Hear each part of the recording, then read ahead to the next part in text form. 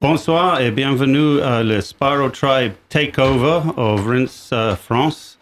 Euh, pour les prochaines quatre heures, on va avoir des discussions sur la situation actuelle par rapport aux soirées gratuites et euh, d'autres choses qui se passent aujourd'hui. Et pour commencer, on va faire un petit voyage dans le passé. On va écouter trois morceaux qui datent de le début des années 90, qui viennent de l'équipe Sparrow Tribe.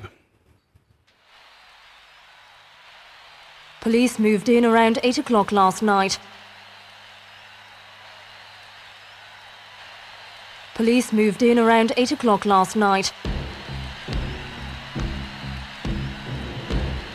Police moved in around 8 o'clock last night.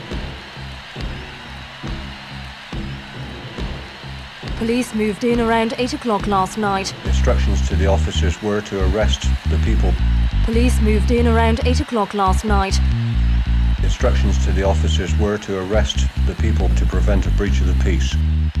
Serious breach of the peace.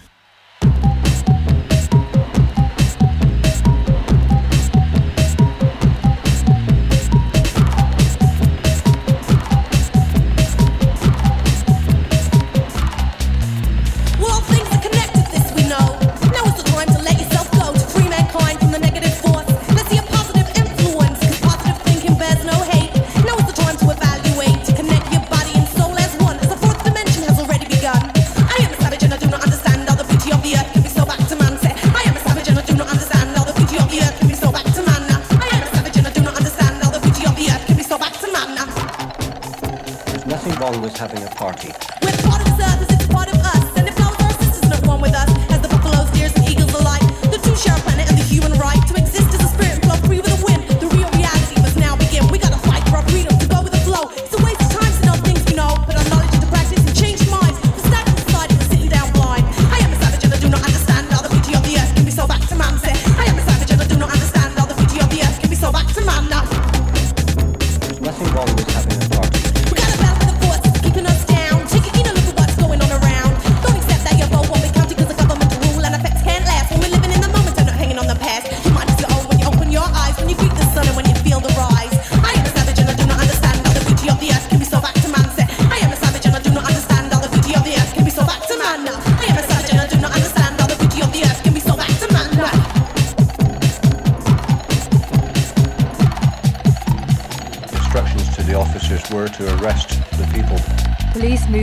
Around 8 o'clock last night.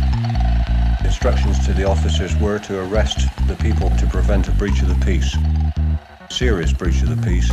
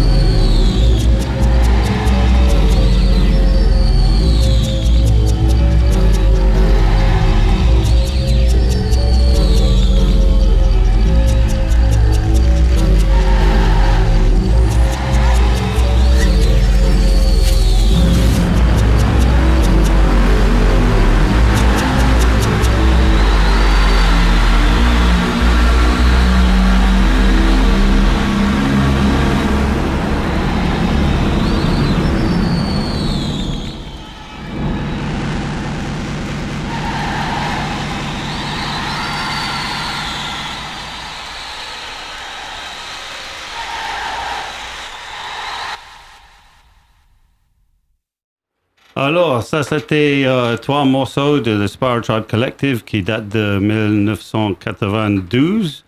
Presque 30 années a passé depuis. euh, et on a eu um, Breach the Peace, Intent, Intent to Supply and Forward the Revolution. Euh, c'était pour, je pense, des bons morceaux pour commencer une, une mission euh, comme euh, celui-là. Euh, on est ici parce que je pense qu'on a tous remarqué qu'en ce moment, le vie euh, prend des nouvelles directions. Et euh, je pense que, notamment, euh, on était tous très, très choqués de voir que quelqu'un dans une soirée peut perdre sa main face à un CRS armé juste parce qu'elle a allé en soirée. Et du coup, euh, euh, je sais que de notre côté, je peux parler pour tous les gens dans Sparrow Tribe, euh, pour dire qu'on était tellement choqués qu'on avait fait un rendez-vous. Et euh, on avait se dit que euh, les choses elles ont évolué dans le sens qu'aujourd'hui, on pense que les morceaux que vous avez juste écoutés, euh, plus tout ce qu'on avait fait euh, à cette époque-là, euh, toutes les, euh, les musiques qu'on avait fait sur le, le label Big Life, on a décidé euh, de, à partir de maintenant, faire une donne de 100% de l'argent qui est récolté par la vente euh, de ce musique ou par l'écoute de ce musique en ligne. Et euh, notamment, on va commencer par faire une donne à le Fonds de soutien juridique des sons.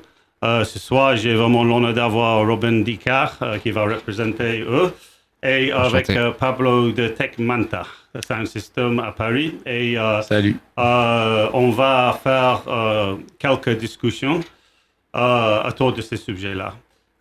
Et première part, on va faire 45 minutes à peu près de discussion sur, je ne sais pas si vous avez vu, mais sur la publicité de cette mission.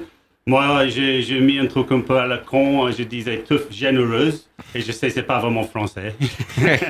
Euh, mais je suppose que ça nous amène à la raison pourquoi on était dans cette situation au départ, parce que quand le Spiral est venu en France, on avait dit euh, free party, et euh, free party pour nous, c'était pas juste gratuit, c'était libre dans l'esprit aussi. Mais on a venu face à le français et ça a évolué en tout gratuit, soirée gratuit et compagnie. Du coup, euh, pour garder la tradition, euh, ce soir, je commence avec euh, cette franglais, tout généreux. Et euh, il y a une raison très très forte pourquoi j'ai choisi ce mot-là, parce que aussi on avait euh, débatté un peu, euh, est-ce qu'on devrait dire tout solidaire, par exemple. Bien sûr. Et du coup, pour moi, j'aime bien le, le, le, le mot generosity parce qu'en fait, on peut voir quand les gens sont solidaires, on, on ressent, tout est là. Mais le generosity, c'est un petit peu plus ambigu parce que, par exemple, quelqu'un peut donner 50 balles et on dit, wow, ce mec, il est trop généreux, il a donné 50 balles à son oreille, le mec, super, mais en fait, chez lui, il a 100 000 balles. Du coup, est-ce que lui, il est plus généreux que le mec qui vient et il a son dernier 10 balles et dans son dernier 10 balles à oreille? C'est qui qui est généreux?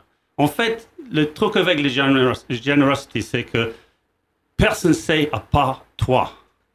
Et c'est ça qu'on veut amener cette discussion ce soir, c'est nous face à nous-mêmes dans ce monde d'aujourd'hui. Parce que plus en plus on avance, c'est ça qui commence à être le clé de, de comprendre comment on peut évoluer ensemble. Et je parle pas juste de Free Party, je parle de tout le milieu rave et euh, je pense plus large que ça, tu vois. Mais on va rester sur le, le soirée gratuit parce qu'on a tellement de choses, c'est tellement large qu'on peut se perdre là-dedans, tu vois. Les free Mais- parties, pas les soirées gratuites. Oui, oui, oui, les free parties. free party, voilà. Et du coup, oui, c'est cette, cette idée que en fait, euh, le generosity, c'est toi face à toi-même. C'est seulement toi qui sais. Et en fait, tu sais quoi? Tout le monde n'a rien à foutre par toi-même. Tu vois, euh, tu devrais être généreux. Quand tu as les gens en face de toi qui, posent un son, qui prennent le risque, qui sont là semaine après semaine après semaine, ça devrait juste être dit dans ta tête, ah les gars, merci, voilà 5 balles, ou voilà 10 balles, ou voilà quelque chose que tu peux donner et c'est que toi qui sais, c'est personne d'autre qui sait, c'est que toi et c'est entre toi et toi-même. Comme à la fin de ta vie, c'est entre toi et toi-même. Tu vois? Du coup, Euh, on est vraiment ici pour essayer d'installer ça et on sait très bien que les beaucoup de monde qu'ils ont capté aujourd'hui, c'est ça qui est fantastique. C'est, comme une, vague arrivant. C'est, comme cette chose qui arrive en l'air de temps, mais les choses plus grandes que nous. Et on est bien conscient qu'il y a beaucoup de gens qui ont capté ça. Mais deux fois, je pense que c'est important de juste mettre le truc sur la table plus euh, brutalement clair, tu vois, parce qu'on n'est plus dans les années 90 aujourd'hui. C'est fini, tu vois. On devrait passer euh, de nouveau époque. Plus les soirées gratuites, le teuf généreux. Mais je compte sur vous pour donner un nom qui est un peu mieux que ça.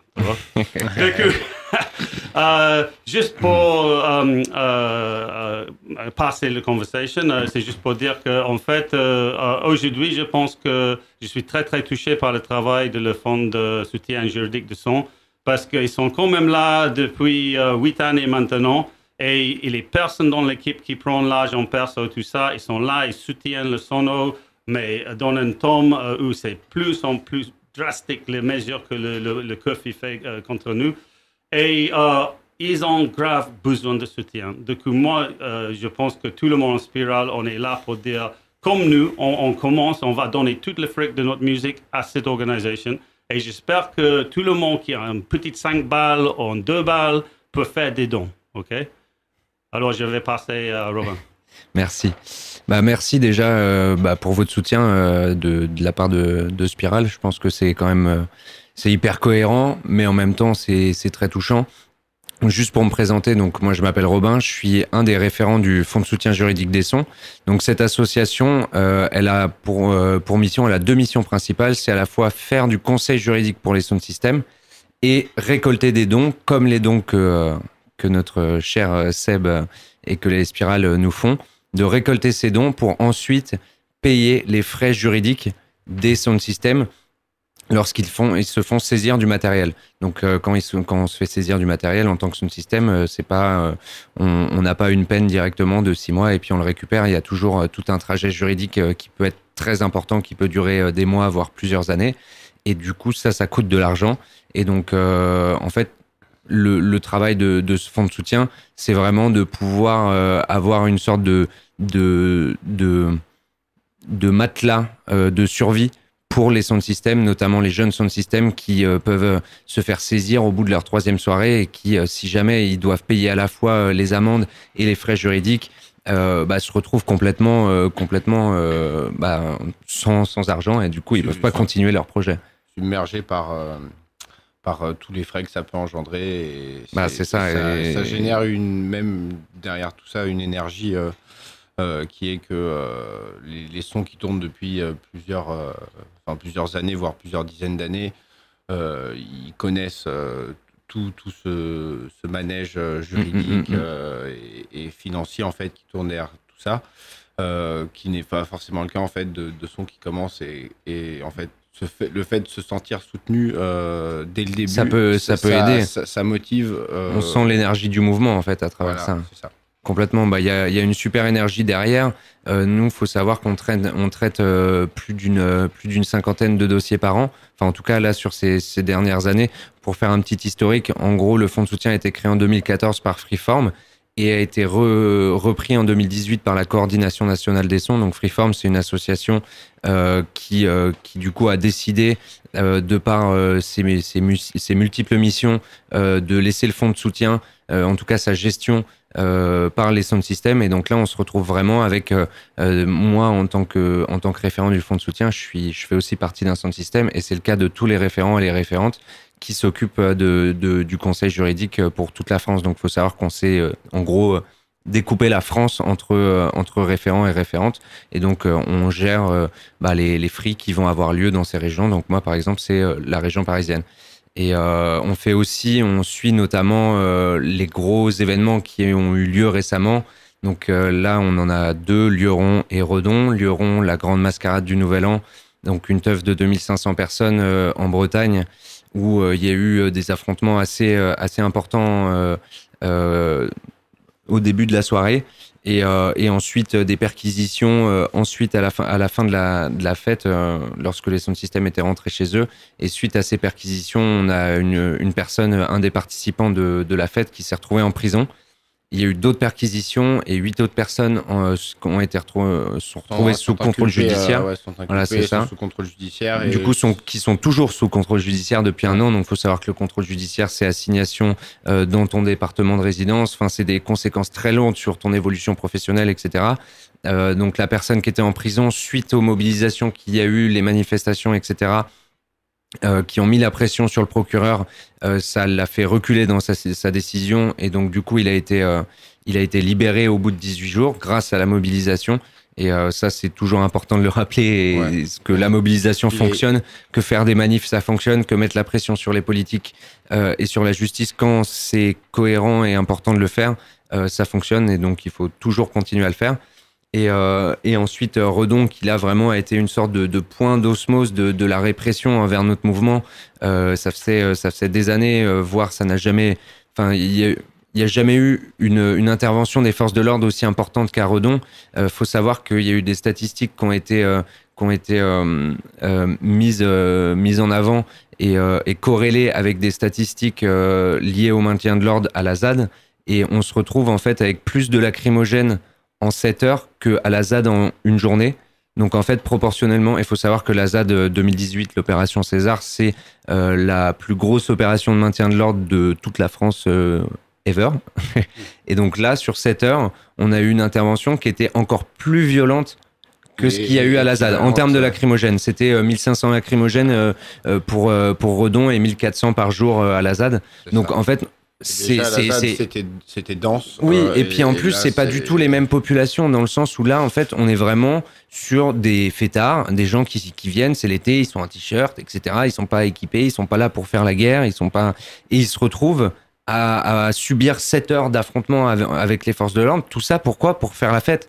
Et on se rend compte que le, le besoin de faire la fête de la jeunesse, il est, il est, il est irrévocable et indéniable. Et, et ça, ça le prouve encore, c'est qu'il y a des, des gens, des jeunes, des, des gens qui sont... Enfin, le, le jeune qui a perdu sa main, euh, il avait 21 ans. Il y a des jeunes de 21 ans qui sont prêts à, à, à, être face à des forces de l'ordre et, et subir leur répression pour pouvoir faire la fête. Et à leur dépens, bah, du coup, vont perdre bah, malheureusement un membre. Mais euh, puis il y a eu beaucoup d'autres blessés. euh, Bien sûr, et il y a pas eu que lui, malheureusement. et en fait, ce- qui a été Il y a des traumas psychologiques, La, la détermination euh, des gens qui étaient euh, vraiment au début euh, totalement non violents et euh, qui étaient vraiment, qui ont fait euh, commencer par faire des, en premier lieu des sittings devant la police et face à, à des policiers euh, surarmés qui n'ont pas hésité une seconde À à, gazer. Ouais, il y a des vidéos qui tournent, à gazer tout le monde, n'importe qui qui bougeait, à charger, à tabasser.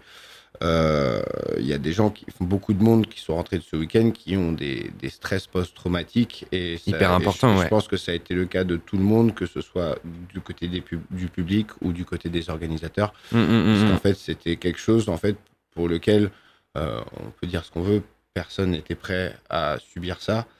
Et, euh, et même, euh, même les plus vaillants, ils sont revenus euh, genre euh, Ah bah, terro- c'est- terrorisés, bien par, sûr. ce qui s'est passé parce qu'en fait, quand tu viens euh, à une fête, même si tu sais que potentiellement la police va essayer euh, de l'arrêter et tout, tu viens pas pour. Enfin, tu là, ce qui s'est passé, c'était une guerre des tranchées de 7 heures et euh, qui s'est pas arrêté euh, au moment où, où les sons ont réussi à contourner du coup cette espèce de barrière de, de, de 100 gendarmes qui bloquaient l'entrée et ont fait le tour par du coup par la forêt derrière qui ont réussi à installer les sonos et, et là du coup il y a eu un moment de joie puisque la musique est, est partie et même après ce moment où la musique est partie euh, la- les forces de l'ordre sont revenues à la charge, ont remonté tout le chemin jusqu'au niveau des sound systems et nous ont et ont remis une couche, euh, une copieuse couche de lacrymogène et de Avant de partir, ouais. de avant de, de s'en de aller, de retourner prendre position à l'entrée. Vraiment, c'est ce- ce moment-là C'était de la violence ce- gratuite Ce moment-là ne et- servait à rien.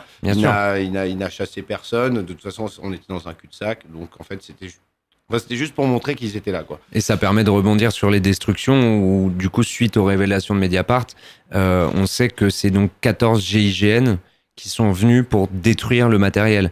Et c'est ces 14 GIGN euh, qui sont des unités d'élite, qui sont les unités d'élite de la gendarmerie, donc c'est-à-dire le, le, le plus haut de la gendarmerie, donc des, des, des unités qu'on utilise des- pour, euh, pour, Ah, pour des, des- du terrorisme. C'est des hommes qui sont formés pour des, des situations euh, À- très haut risque. à très haut risque et qui là se retrouvent face à des fêtards. Euh, c'était Avec des haches. C'était l'interrogation qu'on avait euh, qu'on avait à ce moment-là. C'était on a vu du coup 400 euh, plus de qua- plus de 400 hommes arriver de tous les côtés, encercler les systèmes, commencer à un peu tout saccager. Et dans ces gens-là, en fait, du coup, qui nous ont au passage gazé tout ça, euh, dans ces gens-là, il y avait des, des hommes en tenue militaire avec des sacs à dos militaires et du matériel de sabotage, euh, des haches, des pieds de biche, euh, des, des pics à glace, enfin des espèces de pics à glace, et qui ont commencé à tout saccager. Et ça a été hyper, enfin c'était hyper violent en fait comme image, puisqu'en fait on est passé vraiment d'un moment de fête, de joie, où euh, après quand même une nuit de, tension, de conflit, euh, où euh, les gens ils ont pu arriver quand même au final, et il restait beaucoup de gens en fait qui une fois arrivés devant la musique, et voilà, et ce moment est passé. Ça a été une épreuve, ça a été dur, mais il y a eu, ce moment, ce moment de joie qui est revenu et en fait pendant quelques enfin pendant quelques heures, on a réussi à oublier en fait ce qu'on avait subi et ils sont quand même, enfin ils, et ils ont intenté cette espèce d'action qui était vraiment, euh, c'était le coup, le coup de grâce où ils ont tout saccagé et euh, ils ont, enfin où ils ont déchiré les tentes, ils ont jeté des lacrymogènes dans des camions aménagés avec euh, des gens qui Oui. dormaient.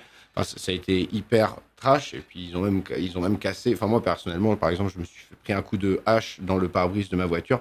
Je suis désolé, mais ça, ça, ça ne- ça ne fait pas partie du, du de, enfin, Du- de- entre guillemets la neutralisation du matériel qui est déjà un terme horrible. Bien sûr, mais Euh, là, là, on était face à des GIGN qui cassaient des instruments de musique, en fait. Des instruments c'est- de musique et tout en fait tout. Tout, c'était juste, en fait, c'était c'était d'une vieux, enfin, la, violence de, de ce moment euh, pour, pour tout le monde, enfin, c'était vraiment le, le coup de grâce. Quoi. Oui, euh, en fait, euh, là, on est en train de voir le vrai, vrai, vrai côté de la situation dans notre culture, dans notre pays. Tu vois que il parle de liberty. Euh, liberty, mon cul, tu vois. en fait, liberty, si tu restes dans un certain euh, mode de vie. Ouais, c'est ça. Le moment, I mean, nous, on a vu ça avec Spiral en 92. euh, on avait fait un tour à Londres, dans Mhm. un entrepôt. Euh, pendant deux heures, on avait une bataille de, de garder le coffre dehors. Et enfin, ils avaient cherché un JCB. Et ils ont venu dans le mur, ils ont cassé le mur, ils ont entré comme ça, ils ont, ils tapé Bah, tout le monde. Et en fait, euh, moi, je pense que j'avais euh, 19 ans à cette Mm. époque-là. Et c'est là que j'ai eu ma message sur la liberté, tu Mm. vois. Et c'est ça que le point faible dans cette tactique gouvernementale. C'est que, oui, il passe un message, OK. Mais ton message change les gens. Ton message va bouleverser les gens contre vous. Il, il rada- il radicalise, bien sûr. Ouais. Ça, c'est un procédé de radicalisation. Tout le hein. monde comme ça. Complètement. Et, et oui, c'est- ça, ça pose, enfin, c'est là que beaucoup, on a été beaucoup à se poser la question de, en fait, que- qu'est-ce que c'est la suite de ça, puisque en fait, euh, quand tu commences à te dire que, à partir du moment où tu te dis, je vais organiser une fête, euh, qu'elle soit clandestine ou pas, euh, et qu'en fait, toi, tout ce que tu veux proposer, c'est un moment de partage, un moment de joie, un moment où on se retrouve tous autour euh, d'une passion, que ce soit euh, de la que ce soit du jazz, du rock, euh, de la musique classique ou de la Mhm. techno. C'est ce que tu as envie d'offrir, c'est un moment de partage et tu te dis que c'est possible en fait que bah il y ait 400 CRS qui débarquent, qui gassent tout le monde et qui cassent les la- le, les, les- le Les matériel musical qui est du matériel que les enfin que les, les propriétaires de, de sound system euh, payent de leur poche et c'est un investissement d'une vie. Mhm. Euh, c'est un investissement où tous les gars des sons, enfin, ou en tout cas, je parle pour moi personnellement, c'est un truc où on investit absolument chaque petit sou qu'on a. Et de le voir euh, détruit du jour au lendemain comme ça, c'est dur et du coup, ça, ça pousse à la radicalisation. Mais honnête, enfin, honnêtement, euh, c'est là qu'il y a un gros travail à faire, qui est qu'il faut pas tomber là-dedans, puisque ça leur donnerait juste du crédit pour Hmm. continuer et faire. Il faut rester, ouais, il faut Bah, rester sur le Après, principe. après, on continue. Enfin, on voit bien que le, là, le mouvement continue à mettre la pression. En fait, euh, on aurait pu s'attendre à ce qu'après Redon, euh, il y ait, euh, euh, bah, en tout cas, une peur des sound systems à faire des fêtes. Et en fait, on se rend compte que le week-end d'après, il y avait une fête de 2000 personnes en Savoie. Mhm. Euh, Il y, a, il y a eu là en ce moment, c'est vraiment le regain total pour les. Ouais. Il n'y a jamais eu une période d'activité aussi intense que depuis la fin, du- le début du Covid. Mm. Donc là, là, on est vraiment depuis le début du Covid. Il n'y a jamais eu autant de teuf en France. Il Donc faut- là, Là, on se rend compte que les sound systems, ils ont, au contraire, ils ont pas peur. Euh, ils continuent à mettre la pression. Il y a des bruits qui courent, comme quoi il y aurait une nuit d'émeute le 31 juillet où euh, il y aurait plein de sound systems qui feraient plein de fêtes dans toute la France et qui aurait euh, plusieurs dizaines de fêtes dans toute la France. Donc euh, une sorte de, de nuit d'osmose festive de, et, et, euh, et, et revendicative parce que cette nuit d'émeute, elle est euh, à la fois en hommage à Steve, à la fois en soutien aux inculpés de la mascarade et à la fois en soutien euh, au sound system euh, de Redon et à la personne qui a eu la main arrachée. Donc on se rend compte que, au contraire, euh, cette tentative d'intimidation, elle a fait que renforcer la détermination des sound systems Mhm. dans leur volonté de mettre en avant leur culture et, euh, et, euh, et leur, euh, leurs aspirations, leurs revendications, leur mode de vie et leur musique.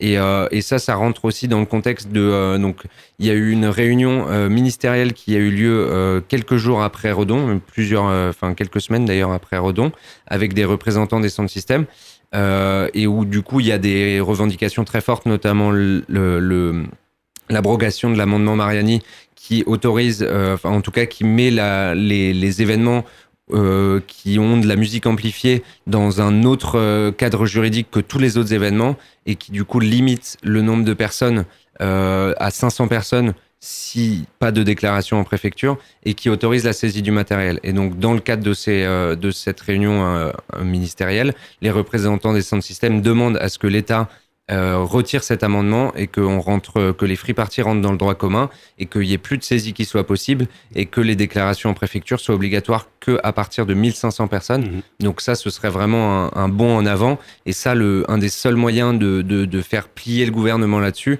c'est de continuer à faire des fêtes, de continuer à, à mettre en avant notre Ouais. culture, euh, notamment face au... Et euh, je terminerai là-dessus.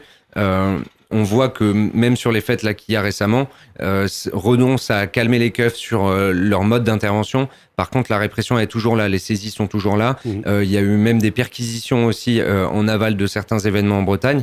Donc on se rend compte que, et là c'est là où le fonds de soutien intervient et où on a besoin de, de fonds qui viennent des spirales, qui viennent de la cagnotte, c'est que nous, avec le fonds de soutien, euh, on permet de, aux- à ces sound systems d'avoir une défense juridique et donc de continuer à faire des fêtes. Et là aujourd'hui, on voit qu'il y a énormément de saisies et que donc du coup, on va avoir énormément besoin de budget pour pouvoir payer tous les frais d'avocat de ces sound systems pour que ces sound systems puissent avoir une grande chance de récupérer leur matériel. Du coup, euh, achetez euh, l'album de SP23 et donnez, faites des dons sur la cagnotte parce que euh, on va en avoir plus que besoin si on veut faire évoluer le cadre juridique et si on veut faire continuer à vivre la free party. Parce que aussi, euh, on est en train de soutenir aussi le conversation. Et je pense que c'est ça qui est vraiment euh, une clé de comment avancer maintenant. C'est il faut le conversation. Et euh, le conversation, il est aussi basé sur le fait que quand Sarcoville est venu, nous, les spirales, on ne Mhm. pouvait plus aller en Tacos, tu vois. On avait arrêté d'aller en Technival parce que c'était repris par le gouvernement. Et pour nous, Hmm. Technival, c'était une chose de peuple. Oui. C'était géré par le peuple. Et pour le, le raison que, en fait, euh, quand c'est autogéré, il est un respect. Quand c'est pas autogéré, on perd le respect. Les le seul viennent, moment, euh, le seul moment que je suis allé en Tecos, après ça, c'était en 2013, Hmm. on a allé pour Cambrai, ouais. un euh, euh, noise control audio pour faire un sound clash parce qu'ils ont voulu. On était là avec Steve Bedlam et tout le monde. Et on est allé là-bas et honnêtement, j'ai vu largement plus de violence dans Ouais, ouais, technoval organisé par le gouvernement que dans le technoval qui est autogéré par le peuple. Et c'est quelque chose qu'on devrait parler de. On devrait mettre les cartes sur la table et parler directement à les autorités que quand tu touches à quelque chose de le peuple, Mm, tu, mm, mm. tu, tu amènes la violence. Mais c'est qui qui est en train d'amener la violence en ce moment? C'est eux. Ah bah À complètement, fois, hein, ça, a toujours été le cas. hein. Quand ils touchent le truc et gèrent le truc, il n'y a pas de respect de que les violences. Quand ils viennent casser notre gueule, ils envoient un message de violence. Et ça ne marche pas, les gars. Tu vois? Il faut qu'on ait une discussion de coup. J'espère que aussi qu'on peut être en train de financer une discussion ici, carte sur la table, pour avoir le respect. Parce que les gens qui bossent toutes les semaines, qui payent les impôts, qui payent le TV, qui payent le loyer, qui payent tous les charges dans la vie, est-ce que c'est pas le droit le week-end de sortir et pas d'avoir de payer les charges encore. Et Dans de- le boîte de nuit, c'est 63% des impôts sont Ou de boisson. pas perdre une main en allant à une fête Oh, aussi. perdre une main, exactement. Mais tu vois qu'est-ce que je veux dire? Bien sûr, bien que sûr. c'est juste ça. C'est un manque de respect de le gouvernement envers la population qui taffe super dur, qui vit une vie super dure en Babylone dans ce monde qui est plus en plus sans âme, tu vois.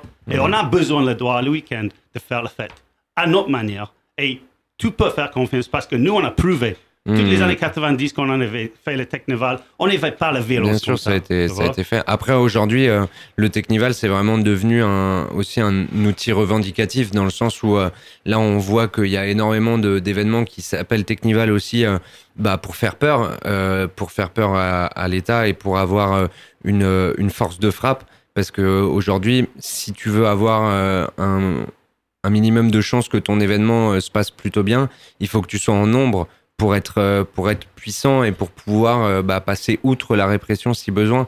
Et, euh, et du coup, on voit que ce genre d'événement a tendance énormément à se, à se, à se, bah, se multiplier, qu'il y ait des gros événements et que le, bah, parce que l'union fait la force et ça a toujours été le cas.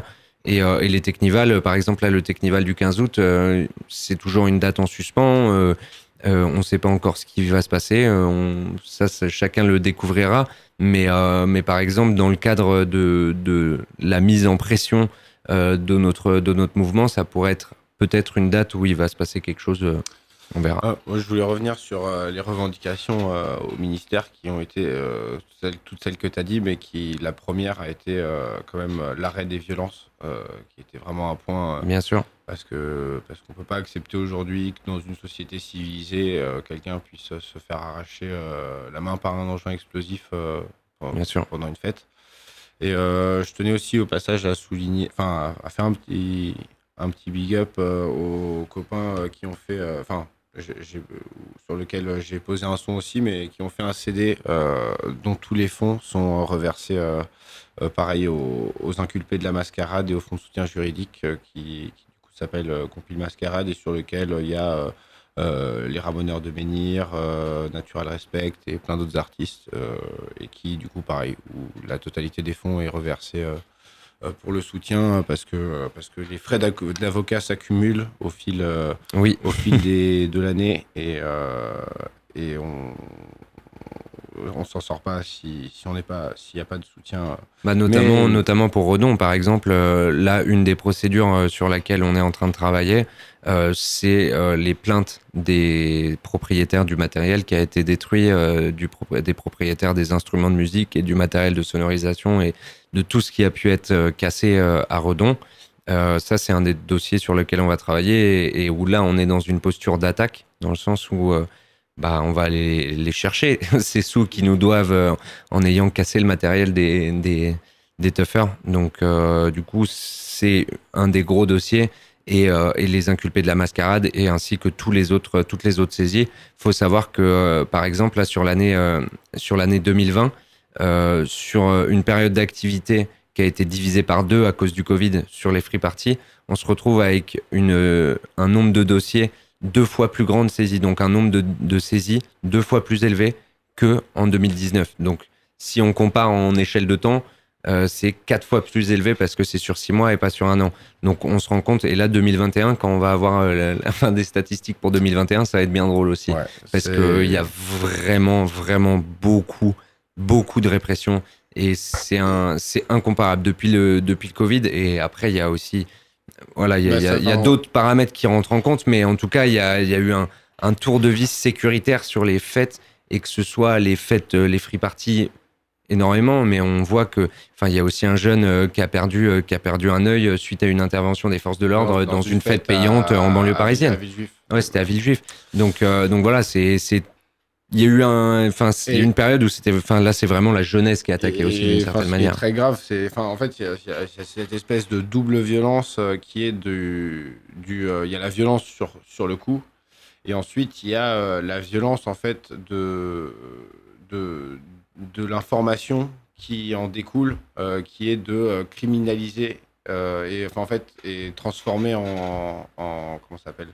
Euh, en, gros, ils, En ils bouc se font passer- ils- voilà, ils se font passer, ils transforment les victimes en boucs émissaires et eux se font passer pour les victimes en disant oui, euh, nous avons été euh, violemment agressés et tout, alors qu'en fait Ça, la- ça a la- toujours été le jeu de la préfecture. oui, hein. c'est- oui, c'est sûr, mais c'est, c'est- en fait pour quelqu'un, enfin, moi je le vois plus, plus comme ça pour quelqu'un qui vient de se faire arracher une main ou qui vient de subir en fait une nuit de violence, Oui. euh, ouvrir euh, un journal ou quoi et voir en fait que dans l'histoire on le fait passer pour le méchant, c'est, Ça peut être hyper traumatisant, C'est, dur quoi. C'est franchement ça, ça, ça, ça- ça- tu te dis en fait là ce qu'ils sont en train de décrire c'est pas vrai.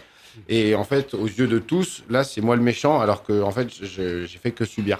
Tu le vis comme une injustice. C'est c'est pour ça que, quelque part, moi, j'encourage euh, vraiment toutes les, les- Je suis sûr que ça existe déjà.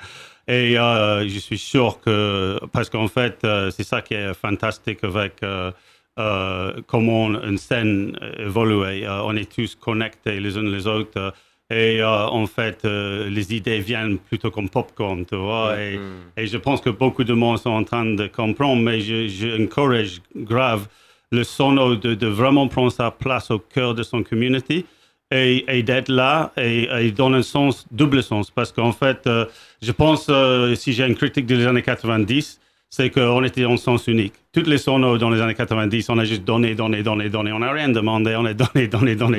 Et euh, on était un peu chanceux parce qu'on était au début d'un truc euh, et du coup, c'était beaucoup plus facile à faire le truc. Vois. Euh, et, et- mais quand même, euh, peut-être l'e- l'erreur de la démarche à cette époque-là, c'était juste de donner, donner, donner, donner, donner, donner et jamais demander quelque chose en retour. Et je pense que pour moi, mon conception de l'underground, c'est que c'est un travail en double sens. C'est pas un Oui, travail en sens unique. Et du coup, on a plusieurs plans qui commencent à être importants ici. Oh, On a ce besoin que tout le monde dans la communauté autour de le sound system de juste savent que même si c'est pas le tough, mais juste de sache qu'il y a un grave un besoin de soutien financier que- qui est là, tu vois. Mais c'est aussi pour le sono de comprendre que si les gens te soutiennent comme ça, tu as un intérêt d'être euh, transparent. Et tu as un intérêt Ouais. d'être euh, cash avec ce qui se passe, tu vois. Euh, parce que ça, c'est l'échange en double sens. Et, et si le sono respecte les gens qui donnent, je pense que ça va faire une larcène euh, positive euh, où, euh, en fait, il y a une entre-aide qui commence à s'installer dans la communauté autour de le system. Et c'est quelque chose vraiment, on a grave besoin en ce moment. Parce que Bah, la gens solidarité, on la voit, Ouais. elle, elle Ouais. ne fait que croître, hein, surtout euh, face aux événements qu'il y a eu, euh, que ce soit Redon, Luron euh, et, et le, ce climat répressif. euh, on le voit dans les relations que le public a avec le sound system, euh, et notamment, bah, par exemple, les affrontements qu'il y a. Euh, S'il y a eu 7 heures de résistance, c'est parce que les gens sont solidaires avec les sound Mhm. systems. Et, ils Et, ont pas euh, voulu lâcher ouais. l'affaire. Mais et c'est- ça, et même en sortie de teuf, ouais. il y a toujours une grosse solidarité euh, Ouais, sur. ouais. Par exemple, il y a eu un Technival en Bretagne là euh, euh, après après Redon et où du coup les, les, le public a fait bloc pendant plusieurs heures et les sound systems résultats se sont pas fait saisir.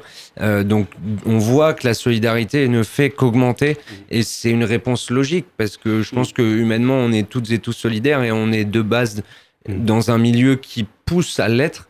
Et, euh, Mm. et, et ça ne fera qu'augmenter. Si la répression augmente, la solidarité augmentera. Et c'est oui, toujours une histoire de balance. c'est- parce que, en fait, euh, les gens, par exemple, qui, qui seront gravement blessés dans une communauté, ils ont besoin de savoir que c'est pas pour rien ça arrivé. Bien sûr. Ça, c'était, ça, c'était parce que toi, tu as voulu être libre dans un pays qui est pas libre. Tu vois? Mm. Tout le monde parle de la liberté en France et en Angleterre. et on- n'est pas libre. Tu Mm. vois? Et ce personne-là, il connaît mieux que tout le monde que juste en voulant faire la fête gratuite dans un, un- un week-end, la réponse de ton pays c'est de t'arracher une main ouais, ou de te mettre en prison. Du coup, tu es plus juste là pour le tough, tu es là pour la liberté. Hmm, Le hmm, vrai liberté, pas la hmm. liberté à la con, mais le vrai liberté, tu vois? Et il faut pas voler le face à ça maintenant. C'est ça la question de la soirée gratuite. C'est la Ouais. liberté, le Euh, droit. Quand tu es un bon citoyen, tu payes tes impôts et free, tu es c'est là. libre. Hein. Free party, c'est fête libre. hein. Oui, oui, décriminalisé. Bien sûr. Après une semaine de boulot, des impôts et tout le merde qui va avec, tu vois, le week-end, tu n'as pas le moyen d'aller en boîte, du coup, tu vas en touffe et tu prends ça. Bon, il est où la liberté? Dans ce pays alors? Tu vois? Bon, on va y arriver, on va y arriver à force de, à force de poser des gros techos. hein. Ouais.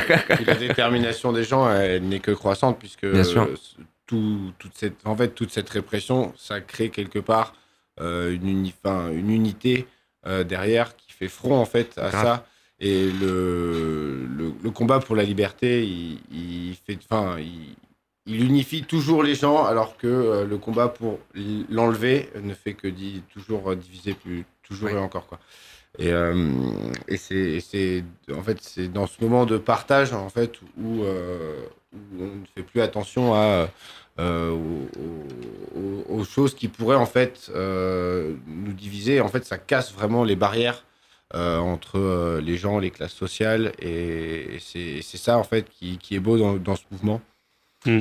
Et qui fait que bah, il continue de perdurer et malgré en fait cette cette répression croissante puisqu'en fait pour faire un enfin depuis moi moi ça fait par exemple sept ans que je fais que j'organise des soirées et euh, enfin que je, mets mon système dans des soirées et euh, et au fur et à mesure des années j'ai vu en fait cette euh, répression arriver peu à peu et là elle a atteint son apogée avec bah, du coup avec le Covid où on nous rabâche euh, que on, crée des, des risques sanitaires et tout. Alors même s'il faut se protéger fa- face à, cette maladie, c'est pas, enfin, ça a été prouvé que c'était pas les fêtes en plein air qui, qui, la, qui la propageaient et, euh, et qu'en fait c'est un peu un prétexte euh, qui leur sert euh, de carte blanche à toutes les exactions qui, ont lieu en ce moment.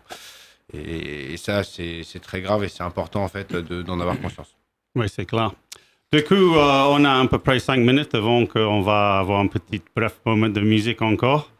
Je pense juste de rappeler que cette euh, 45 minutes, c'était sur la thématique de generosity, parce que moi, je pense que dans euh, le, le, de l'avenir, generosity, c'est une clé. La solidarité, bien sûr, bien sûr. Mais toutes ces choses, euh, euh, vraiment, sont les clés de comment on va arriver ensemble de, de aider les uns les autres. Parce que le, le sort de répression qui vient vers nous, c'est exagéré et c'est hyper dur pour nous d'encasser. Et c'est grâce à ce soutien entre nous qu'on a une chance d'évoluer dans un, a- et un sens qu'on- et positif. qu'on a envie de continuer surtout. Voilà. Que Voilà. ça nous donne, euh, en fait, le, le fait que tout le monde se sente concerné, euh, ça donne une force aux gens et ça se voit en ce moment euh, au niveau des. Enfin, moi, je, je regarde euh, les réseaux euh, sociaux et j'ai vu euh, tellement de belles fêtes avoir lieu c'est, à- depuis Redon, euh, enfin, même avant, hein, mais euh, là, il y a une résurgence Ouais. et les gens, ils, sortent, ils mettent tout, quoi. Ils mettent Ouais. toute leur vie en Ouais. jeu et ils disent là, moi, je fais. Là, il faut je y aller, ouais. je préfère euh, faire front et tout perdre que, que de me dire que j'ai pas participé euh, à ça et c'est magnifique. Oui, et que je me tais aussi parce que là, là on se rend compte que euh, il y a de plus en plus de fêtes, voire ça, ça devient vraiment un leitmotiv de quasiment toutes les free parties euh, sont en hommage à Steve, en soutien aux inculpés de la mascarade Mm. et en soutien au, au sound system de Ah, Redon. c'est- vrai qu'en plus, si on, on remonte aussi un peu dans le temps, Re- Redon, c'était une fête en soutien, enfin en hommage à un jeune homme qui a perdu la À vie. Steve, oui, toujours. Au, au moment d'une euh, d'une fête et en plus autorisée sur euh, les bords de la Loire à Nantes. C'est ça.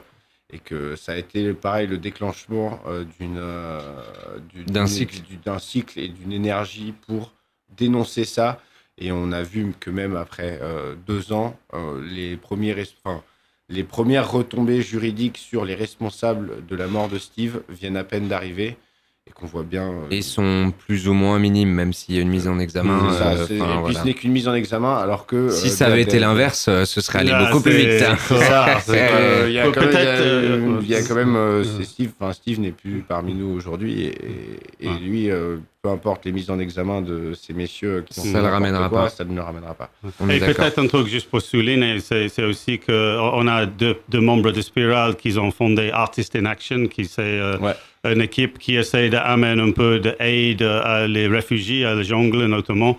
Euh, et eux, quand on était en train de parler de faire une donation euh, à la fonds juridique, euh, ils étaient en train de aussi dire, tu sais quoi, euh, ce qui arrive dans le TUF arrive tous les jours à les réfugiés. Bien tu sûr, vois. bien Et sûr. en plus, on a tous véhiculé les gilets jaunes, manif, tu vois. On était en 2019, on a tous vu, on était tous là, on a tous pris dans la gueule, tu vois. Du coup, on n'est pas seul on, parle d'une sorte d'agression. Euh, Bien sûr, c'est généralisé. C'est généralisé contre toutes les personnes qui sont marginalisées. En fait, cette violence-là, euh, elle a commencé euh, dans les banlieues et maintenant elle est généralisée à toutes les personnes marginales. Voilà, exactement. Et qui sont à contre-courant. Voilà, la générosité, les gars, tout le monde, la générosité, euh, faites tes dons. Au Fonds de soutien juridique des sons, sur le Hello Asso du Fonds de soutien juridique des sons, vous pouvez retrouver le lien de la cagnotte sur Facebook euh, et, Facebook. Ok, et maintenant on a un world exclusive euh, de nouveau euh, morceau de X in the Mix. Euh, S'appelle The Right to Rebel, le droit d'être rebelle. Eh, eh.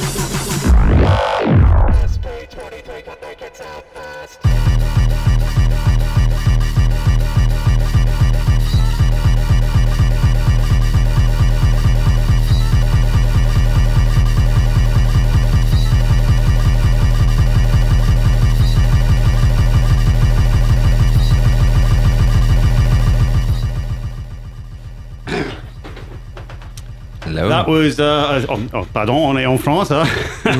Euh, ça, c'était Nazi Europe Fuck Off. Euh, c'est un morceau que Isaac a fait euh, en 94 à Berlin, y compris Dance to the Leader, qui était sur le série Stormcore Network 23, qui date des années 90. Euh, maintenant, on va passer à la deuxième partie de la discussion. Et, et, maintenant, on va essayer d'aborder le sujet de bienveillance euh, et euh, euh, de- d'essayer de, euh, combattre euh, le sectarianisme qui, a, qui a été vu. moi, en fait, pour, pour être clair, moi, je suis quelqu'un qui a commencé de faire le tour en 88. Du coup, mon perspective, je pense, est un peu différente de, de les autres et ça sera intéressant de voir et d'entendre euh, notre euh, point de vue sur cette euh, question de bienveillance dans le turf et tout ça. Et c'est vrai que euh, un des trucs qui me surpris comme musicien, euh, c'est que euh, en 88, on avait la musique euh, Detroit, euh, Chicago, Acid House, Detroit Techno, House Music, euh, le- la naissance de le breakbeat et tout ça. Et le turf à Londres à cette époque-là, c'était euh, vraiment mélangé. Euh, on avait vraiment tout le monde là. Euh, c'était vraiment une musique qui, qui peut passer une chose à une autre. Le- un, un set typique d'un DJ, c'était d'aller en acid house, après en tribal, après, euh, quand ça va un peu trop dark, tu mets un piano house et ça amène dans le, le- le soleil encore. Et, et c'était vraiment une, musique euh, assez ouverte. C'est pour ça la selection de musique que j'ai fait ce soir. J'ai voulu montrer que Spiral, on a fait For the Revolution, mais on a aussi fait Nazi Europe Fuck Off. Tu vois? Et c'est radicalement différent. Et euh, je pense que ça peut coexister dans le même endroit. Et je pense que si je comprends bien, euh, ça, ça, arrive aujourd'hui un peu dans des endroits, mais je pense que on peut pas voler le face de euh, quelque part en 96. On a vu le milieu rave euh, compartmentalisé dans le minimal, dans le goa, dans le hardcore, dans le hard tech euh, et, et compagnie. En fait, euh, je me rappelle comme musicien, euh, j'étais vraiment étonné que, en fait, euh, après avoir fait Fuck Techno Impôt euh, et Fuck Le Pen, euh, les gens, ils ont voulu que je reste là, ils n'ont pas voulu que j'évolue. Et quand j'ai commencé de faire le break, j'avais des gens qui sont venus à moi quand je jouais, mais qu'est-ce que tu vois? Hmm. Et on, on a subi beaucoup de ça dans les années 2000. Du coup, euh, je pense que on, va aborder ce sujet un petit peu parce que je pense que on a tous eu des expériences d'aller en teuf. Et par exemple, je, je peux imaginer que si on était à le, le bordel 23, on est allé là et tu avais vu 20 000 teufs euh, illégales dans le coin, tu peux sortir de ce- ce teuf en train de penser que tu es le meilleur du monde. En fait, ton scène, c'est le vrai underground et tout ça. Et euh, le reflection, on est des humains, on est tous euh, victimes de notre connerie. Et, et- souvent, on a le reflection que nous, on est plus underground que les autres, on fait les choses mieux que les autres et tout ça. Et c'est dommage parce qu'en fait, euh, euh, en faisant ça, on est en train de fermer la porte Ouais, sur la ça- conversation. Ça crée des barrières Voilà. là où Voilà. on n'en a pas. Hmm. Bah écoute, euh, tu, tu voulais parler, euh, mon Euh, cher non, Pablo. Vas-y. Euh, c'est c'est vrai que sur le- l'acceptation, euh, la bienveillance, la solidarité, c'est des valeurs qui ont toujours euh, été portées par la Free, en tout cas où derrière il y avait une volonté de les mettre en œuvre. Et euh, ça a été le cas sur certaines choses, d'autres non. Euh, on voit que l'inclusivité a tendance à, se, démocratiser, mais on voit par exemple que dans les, orgas euh, de Free, c'est euh, c'est très très masculin. Par exemple, il y a une grande dominante masculin et j'en suis la preuve. Et, pareil, c'est très peu, il y a très peu de personnes issues de l'immigration, alors qu'il y a une, volonté de mettre en avant des valeurs d'inclusivité et que tout- toutes et tous soient dans bah, participent à l'effort pour euh, faire vivre ce mouvement. Euh, donc c'est vrai qu'il y a un vrai travail et ça, euh, les acteurs et actrices du mouvement euh, se posent la question en ce moment de comment rendre la free plus inclusive, que ce soit dans le public, dans les, les orgas, dans le- les modes de fonctionnement, dans euh, comment se passe la free. Euh, moi, je vois beaucoup, et notamment en rave, beaucoup plus, et en club, des, des, des volontés de sensibilisation, notamment sur le consentement, etc., où il y a vraiment des vraies problématiques qui sont bah, des problématiques qui sont réelles. Euh, Le patriarcat, euh, c'est pas une invention, et, euh, et, et aussi d'inclusivité sur tout le reste, sur euh, les, les genres, sur les, les orientations sexuelles, sur euh, sur les provenances, etc. Et, euh, et, et, et c'est vrai que sur la scène rave et sur la scène club, il y a un gros travail euh, qui est fait. Et sur la free, il y a un gros travail qu'il y a à faire. Euh, clairement, euh, c'est pas encore des choses qui sont euh, mais qui est, qui est en qui, est- qui sont en cours, qui sont en cours et puisque- qui s'inspirent aussi bah, de, de la mouvance générale, euh, Mm. que ce soit lié à la fête, que ce soit lié au monde en général, qui Mm. où aujourd'hui, j'espère en tout cas que, euh, il- en tout cas, il y a un côté du monde qui tend à être plus inclusif, plus bienveillant et plus Mm. respectueux de toutes et tous. Euh, et, et la free, en tout cas, euh, moi autour de moi, les gens ont la volonté de, en tout cas, on partage ces valeurs-là, ont la volonté de les mettre en application. Mais c'est pas encore, euh, c'est pas encore le cas euh, à 100%. quoi. Oui, c'est vrai que tu as voulu. Oui, non, mais je, je voulais juste souligner, oui, que en fait, le, le, le scope, un peu, c'est de, de- de faire disparaître toute forme de discrimination, quelle qu'elle soit, euh, et que les valeurs prônées par, euh, par ce mouvement, c'est euh, la- l'acceptation de l'autre, euh, peu importe euh, sa couleur, son origine, son orientation, son travail, son métier. Euh, et que c'est ça, en fait, qui, qui, qui génère en fait cette énergie, c'est qu'on n'est pas là parce que on vient d'un milieu ou d'un autre, ou qu'on est d'une couleur ou d'une autre, ou qu'on est euh, d'un tel bord sexuel ou tel, de tel. C'est qu'on on vient pour une passion de la musique et du partage. Oui, Et oui. Ça génère une énergie qui, qui, qui- que je retrouve dans peu d'autres endroits et c'est ça Mhm. qui est merveilleux. Et en plus, euh, il faut euh, vraiment, vraiment qu'on comprenne que c'est dans la musique, tu vois? Parce que euh, moi, euh, j'étais toujours hyper embêté parce que nous, on est venu en France et deux fois, on a des gens, et c'est pas leur faute, mais deux fois, on a, on a les gens qui disent Hey, les Spiral, ils ont commencé le techno, un truc comme ça. Et nous, on est juste euh, Non, mais, mais arrête, putain de merde. Euh, euh, ce musique vient de Detroit et Chicago. Il faut que ce soit clair ici. Euh, c'est le, le, le- dans le, milieu euh, techno, euh, il est enclavé, un clay rhythm. C'est le dum tchika, tch, dum tchika. Ça, Mm. c'est le disco. Hmm. Et, et c'est une musique que, en fait, euh, si tu comprends pas le racine de ton rhythm, c'est mieux d'aller chercher où cette rhythm vient de. Et tu vas vite fait tomber dans euh, les cultures afro-américaines gays à à Detroit et Chicago. Et tu vas tomber dans une culture qui était massivement généreux, en train de partager ça avec le monde, tu vois. Et aujourd'hui, euh, ça fait un peu mal au cœur quand tu vois les gens comme Kevin Saunderson qui, qui fait un cri euh, dans une interview euh, de dire nos gosses, le, le, le nouveau generation d'Afro-American DJ à Detroit et Chicago, ils n'arrivent pas parce qu'il y a un blanchissement de le milieu techno, tu vois. Et c'est juste un, un exemple de comment, si on n'est pas vraiment euh, en train de faire attention, on peut, peut-être sans envie, mais euh, je pense qu'il y a beaucoup d'envie dans certains secteurs de l'industrie, tu vois. L'industrie, elle a envie. Et on nous laisse faire parce qu'en fait, euh, on ne fait pas le nécessaire d'aller dans le racine, de savoir où cette musique vient de. Et il ne sera pas le hard tech si c'était pas pour le Detroit Techno euh, et le Chicago House, tu vois.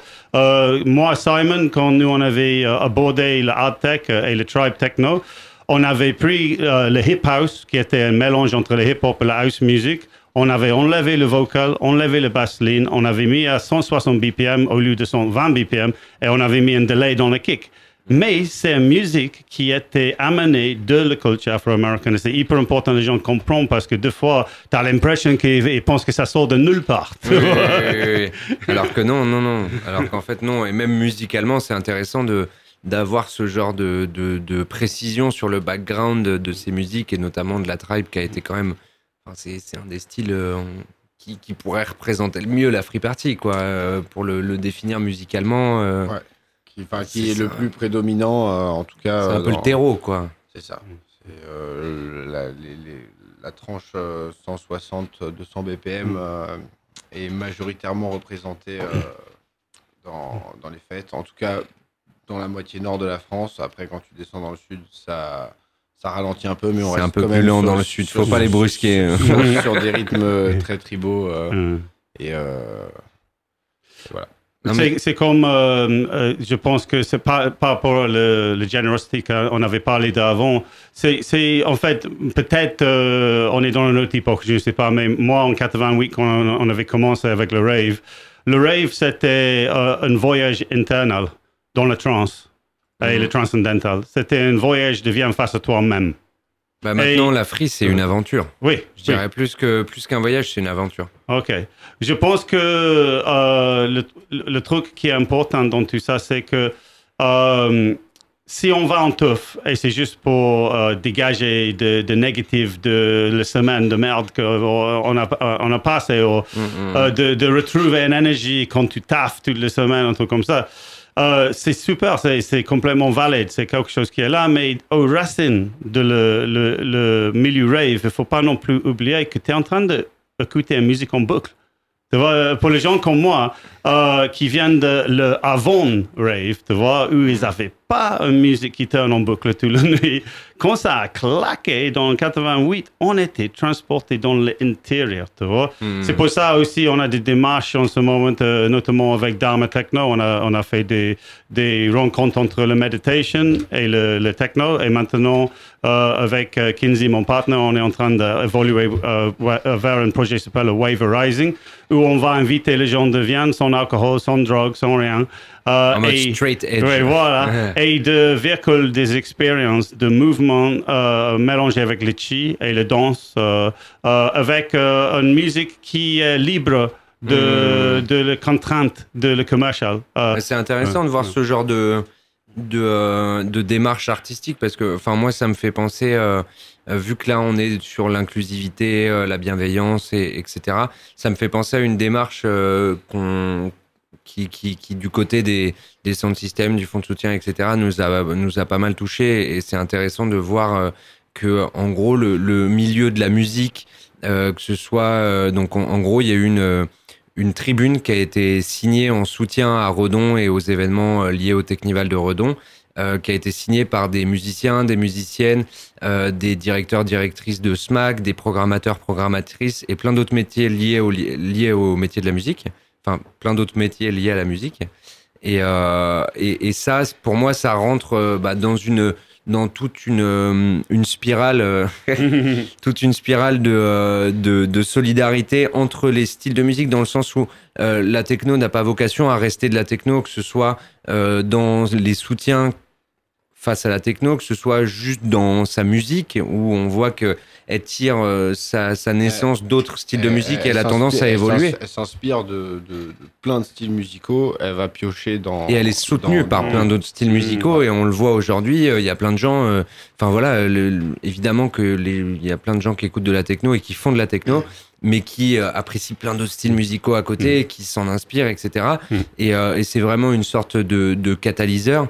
Et, et on le voit aujourd'hui, par exemple, bah, le fait qu'on soit ici, par, euh, le fait qu'on soit sur, sur le plateau de, de Rins, euh, qui, qui est du coup qui est une radio liée aux musiques électroniques en règle générale, et où du coup la Free Party en fait en fait partie, et on voit que la solidarité euh, du monde de la musique électronique, bah, elle est présente, euh, que ce soit en, pendant les mobilisations, les manifestations qu'il y a pu y avoir, euh, suite à la mascarade, suite, suite à cet événement-là, et, et où du coup il y a eu des, des, des, par exemple des syndicats comme Socle qui, qui sont venus sur des manifestations, euh, où il y a eu des événements euh, ou des communications de la part de clubs ou d'orgas de festivals en soutien à Redon ou à Lyon, et on se rend compte que on, on vit pour la musique et, et qu'on fasse de la musique électronique, de la musique tout court, qu'on fasse de l'art en règle générale, Mhm. on ne peut qu'être touché par, euh, par, ces, par tous ces événements, par la répression qu'il y a autour de la free, etc. Et, euh, et si, on, si on continue à être dans cette mouvance de d'acceptation, de bienveillance et de solidarité entre tous les styles, d'inclusivité entre toutes les personnes, etc., on peut créer, enfin bon après ça, ça devient un discours un peu utopique, mais créer vraiment une, une osmose festive et Mhm. avec euh, comme euh, comme point de point d'orgue euh, bah, la fête en elle-même et avec tout ce qui en découle euh, qui sont bah, des lieux de sociabilisation de rencontres euh, des Mhm. lieux de professionnalisation et, et autres et si on arrive à développer ça conjointement avec la free la techno la musique électronique en règle générale Mhm. et même le monde de la musique dans toute sa globalité euh, on se retrouve avec un avec un potentiel énorme Ouais, et parce ça que, cool euh, en fait, euh, on, on oublie souvent, euh, ça devient de plus en plus évident aujourd'hui, mais deux fois on a tendance à oublier que c'est toujours cette l'histoire de devise pour mieux régner, tu vois. Et même si tu sors d'un tacos et tu étais là avec 100 000 personnes, il faut aussi comprendre que à la même fois que tu étais en tacos, tu avais 10 millions de personnes en train de regarder la télé. Et euh, on a besoin les, uns les autres. On ne peut pas enfermer dans le Technival Free Party et croire qu'on va avoir des changements positifs et tout ça. C'est un peu naïf, je pense, et c'était naïveté j'avais partagé dans les années 90, mais la vie m'a fait comprendre avec le temps que non, non, ça ne va pas marcher. euh, Si on n'est pas inclusif, si on n'est pas en train de tendre le, la main à les gens qu'avant on a dit Oh non, mais vous, vous faites pour euh, 10 balles l'entrée, du coup vous êtes des vendeurs. Non, non, non, non, non, non. Euh, le, le truc qui est, qui est important, c'est les gens devraient rendre compte que un artiste, par exemple, euh, je peux parler de, de nous, on a commencé euh, 10 années gratuites, on a fait tout pour donner, donner. Au départ, on pouvait même pas penser de prendre l'argent. On était vraiment dans le don, don, don, don. Mais à un certain moment, on a commencé de puiser, on a commencé de voir qu'en fait, il était personne là pour nous aider quand nous, on a tombé. Et je pense beaucoup de sonos, ils ont, ils ont tombé dans cette problématique que tout le monde peut faire 5 années, mais 10 années, 15 années, tu vois, les enfants arrivent, tu as des pressures dans la vie qui arrivent.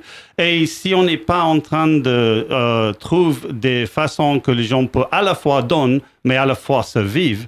Et moi, je, je, je sais que oui, dans certaines parties de le milieu euh, électronique, tu as des gens qui sont vraiment là pour faire un maximum de fric et devenir des superstars.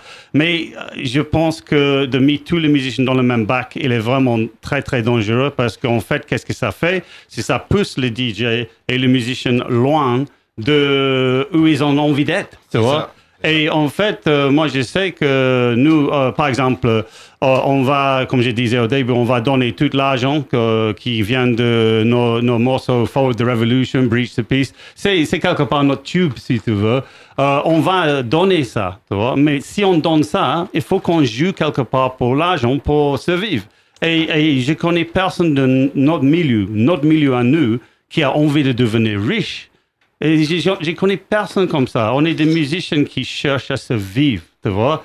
Et je pense qu'il était beaucoup de malentendus là. Peut-être c'est en train d'évoluer maintenant. Je, je- je suis assez encouragé parce que je pense que pas mal de gens comprennent. Mais c'est vrai que euh, c'est cette sorte de bienveillance de dire, tiens, je vois quelqu'un faire une action, peut-être je comprends pas cette action, mais je vais donner lui l'espace de, de faire ça.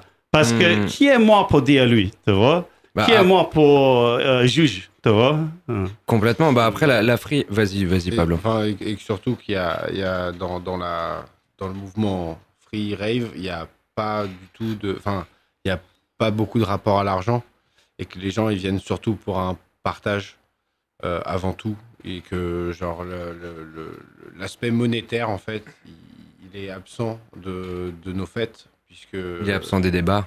il est absent des débats puisqu'il il n'a pas, il a pas lieu d'être le, le seul aspect financier c'est la sono et, euh, et, et, le- et les frais euh, Les amendes. les frais qui sont engendrés par ces soirées euh, avant en amont par, par exemple la déco le gasoil enfin tout ce qu'il faut pour faire tourner un peu la machine et après avec les amendes les trucs mais tout ça c'est ça ça enfin, les gens quand ils donnent 10 euros à, à une donation ou, ou pour le plaisir ou sur un- ou ils font un don sur internet ils savent très bien que ça va pas aller ça va aller dans la poche de personne et que ça va juste contribuer en fait à continuer à faire vivre euh, toutes ces toutes ces activités. Et c'est ça qu'en fait qui est, qui est important. C'est que le il y a, pas de de rapport direct en fait entre les acteurs et l'argent. C'est l'argent il sert à c'est un moyen en fait. Et, et- et ça, c'est- je pense que ça fait. Enfin, c'est- une grande partie de l'amour, euh, d'une des raisons de l'amour que les gens ont pour la. En tout cas, euh, en tant qu'orga, euh, je trouve que c'est. Et même en tant que public, c'est intéressant de, de se plonger dans 24 heures, 48 heures, ou même plus, ou même moins, dans un monde où où il n'y a plus ces problématiques financières. On n'a pas. Euh, où en fait on a on vient avec euh, ses propres vivres euh, avec et, et on sort de, de ce carcan là qui, qui fait régner l'argent euh, comme euh, une sorte de d'épée de Damoclès. Mais euh, par contre pour rebondir sur le truc euh, ce qui est intéressant sur le côté en tout cas vie comme tu parlais Seb donc euh, ton évolution euh, bah tu grandis tu à un moment tu dois trouver un métier tu dois euh, au moins euh, avoir de quoi manger. Et, euh, et, et, et la free est un endroit très intéressant là-dessus dans le sens où il y a plein de gens qui vont se professionnaliser grâce à la free, notamment du côté des gens qui font, bah, souvent c'est le schéma classique, c'est tu commences à faire des free en tant que public. Ensuite, tu vas kiffer ça. Tu vas te dire, tiens, si j'en organisais moi-même. Ensuite, tu vas en organiser. Puis après, tu vas te dire, tiens, est-ce que je pourrais pas euh, faire de l'organisation de la teuf mon métier? Et donc, on sait que bah, pour organiser une free, en fait, il faut plein de compétences. Ça peut être bah, bosser dans l'événementiel, dans la production, euh, dans, bosser dans un label, bosser en tant que DJ, bosser en tant que régisseur, en tant que technicien, en tant que créateur, en tant que, en tant qu'artiste, en tant que tatoueur. Enfin, il y a, il y a des, des centaines de métiers qui découlent de la free et il y a un nombre de personnes incroyables qui ont trouvé leur voie, Mm. que ce soit leur, leur voie de vie, tu vois, c'est même pas un- une voie professionnelle, c'est une, c'est une philosophie de vie qui inclut à la fois euh, la manière dont tu vas vivre, parfois habiter pour des gens qui habitent dans des lieux alternatifs, dans des camions, etc. Là, ton métier, donc euh, tes compétences Mm. professionnelles, etc. Et, euh, et ça, c'est un, c'est une richesse qui est, pour moi, qui est folle parce que parce que c'est c'est un, c'est un lieu où on peut tu peux définir ta vie grâce à la free. Moi, c'est ce que Mm. j'ai fait, enfin, par exemple, et, Ouais. et Bon, je trouve ça fou. Le truc qui est incroyable, c'est euh, un soutien, le générosité. Et un si ça déclencheur. peut être mis en place, peut en fait donner une vie à notre milieu d'évoluer. Parce que euh, je sais très bien que euh, comme musicien, si j'ai envie de survivre, j'étais dans l'obligation d'aller dans la boîte, aller dans le festival, Mm. jouer là-bas, pour après, de temps en temps, revenir pour jouer euh, gratuit, de, de jouer sur toutes les tables. Parce que le free pouvait pas me donner. Non, mais la free, c'est un déclencheur. Voilà. C'est un, un catalyseur. Ouais. C'est quelque chose qui, qui te permet ensuite de, par exemple, moi, je fais de la, de la régie son, donc je travaille en tant que technicien son. Euh, je me fais pas payer en free pour euh, ce que je fais. Je vais pas, euh, voilà. Voilà. Mais par contre, je vis ma vie sur d'autres événements. Enfin, je, tra- je travaille sur d'autres événements. Mm. Et parfois, je mets mes compétences et mon métier au service de la free. Mais Mm. au départ, je me suis exercé dans la free comme, Mm. comme toi en tant qu'artiste, etc. C'est une porte ouverte à la, enfin, en fait, à l'ama- à l'amateurisme, en gros. Mm. Où euh, n'importe n'importe quelle personne qui euh, ne touche pas euh, au, do- au domaine, enfin, au, domaine technique euh, qui, qui ou autre, artistique, ou à tous les domaines liés à la free. ouais. c'est ça, technique, artistique euh, et Mm. autres qu'on retrouve en free peut arriver et euh, essayer en fait. C'est ça, et dire je vais le faire, je vais être responsable. Mm. Tu te mets en responsabilité en fait, et ça c'est Mm. hyper intéressant parce que Et, et c'est en fait, c'est en fait pousser les gens à, à être acteurs, en fait, plus que euh, juste euh, venir consommer quelque chose. Ça, ça, ça génère en fait une, euh, Une un- responsabilisation, un- une responsabilisation, et puis ça fait que du coup, bah, ça, ça donne des belles choses comme des fêtes euh, qui sont autogérées, propres, euh, où tout le monde participe. Où, tout où le techniquement euh, c'est beau, euh, où il y a des belles réalisations artistiques. euh. Exactement, tout le monde gagne à la fin, tu vois. En fait, euh, les gens ils dépensent euh, beaucoup plus de fric ailleurs, tu vois. 5 balles pour un son peut radicalement changer le don pour un sound system, euh, d'évoluer et garder la musique top niveau, de, de garder le matos top niveau, de, de vraiment être capable que à chaque fois que tu viens en teuf, tu vois le truc évoluer. Et moi, je suis clair, euh, si, si j'avais du soutien comme ça dans les soirées gratuites, je vais jamais avoir vers la boîte ni le, euh, li- Hmm. le festival parce que c'est largement mieux en teuf quand c'est illégal, tout ça. J'adore, tu vois. C'est, pas là, ça marche, mais le problème, c'est euh, dans la longévité, on parle de 30 années ici. Tout le monde peut faire 5 années. Mais 10 années, 15 années, 20 années, combien des années tu peux faire tout gratuit, don, don, don, don, don, jusque tu vas dans le mur, tu vois. Et- Je pense et- que Pablo il a la réponse, il a son plan, euh, tout est déjà prévu. hein. il sait comment il va faire. Bah oui, non, effectivement, on, on est, enfin, personnellement, je- moi, j'ai pas d'objectif euh, financier là-dedans, puisque à côté j'ai un travail. Mais euh, c'est- en fait, c'est- toujours cette envie de, de partage. Et en fait, au final, ce que tu gagnes, c'est pas de l'argent, c'est euh, des sourires, c'est euh, Hmm. C'est euh, une énergie qui, que, que tu reçois en fait en retour de ce que tu as donné. Et Mhm. ça, en fait, ça donne la niaque de continuer.